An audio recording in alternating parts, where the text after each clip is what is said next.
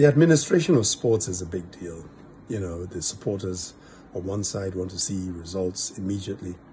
For those of us who administer it, invest in the game, we have to take a medium to long term view. How do we put internal structures in place to make it work? In the take case of rugby, we're not a rugby playing nation, and we're the only nation to be featured in the top tier of Africa rugby, even though we have no pedigree in the sport. Uh, it's not even really played in schools, it's in select levels. We've introduced the whole concept of getting into rugby at a young age uh, very strongly.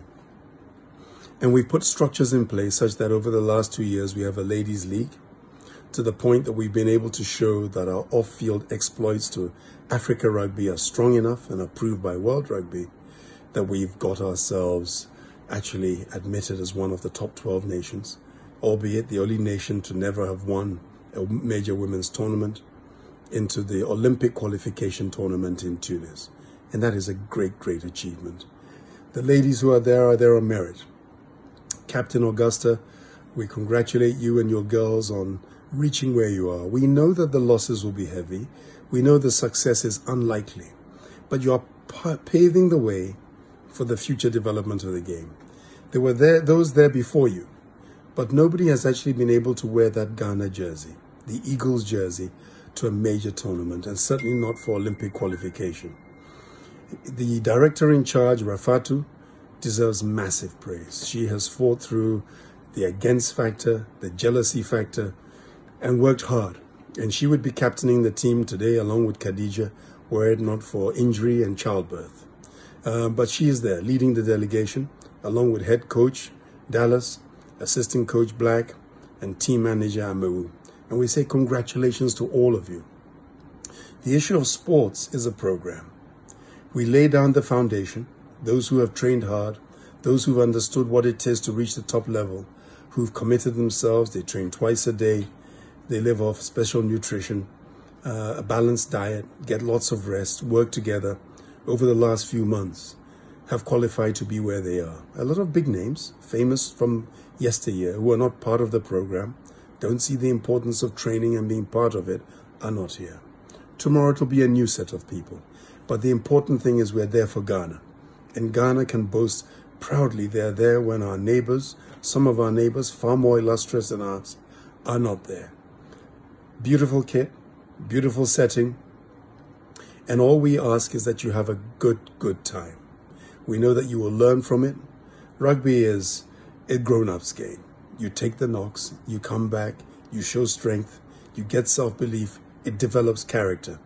And I know that those of you who have gone and participate will surely do that. You'll realize your limitations. You'll realize you're not as fit as you thought you were. Those who are tough will realize they're not as strong as they think they are. And we've got some tough girls. Tough girls like uh, young Anita, tough girls like Nimatu. We've got some tough girls out there.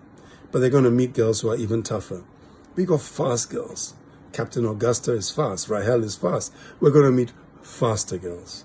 And they're going to be people who have been playing rugby for 10 years, 15 years, who are schooled in the game. But the important thing is that we're there. We're competing. We're going to do well. And we're going to raise the flag for Ghana. It is not about losing. It's not how, how much you lose by. The fact that you're there, you're doing what you're, you're out there with your heart's desire to do, means that when you come back next time, you will have learned. You'll be slightly embarrassed, but you will have learned. And next time, all the documentation will be in place. The hassle we've had trying to get passports, trying to get travel documents, which has meant that some girls have arrived on match day, traveling through Turkey, Istanbul, to come to Tunisia, is demanding even for the best athletes. So for some of you who haven't traveled before, it's a big deal.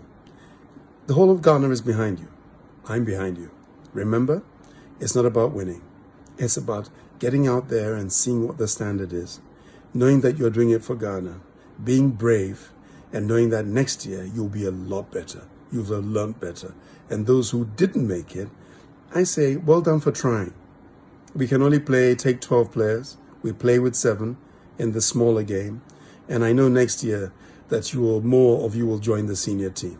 And as we introduce 15s rugby, there'll be even more of you. The bigger girls like Grace, etc., Anita will all be there and be part of that squad. So nobody should be disheartened. Congratulations. and good luck.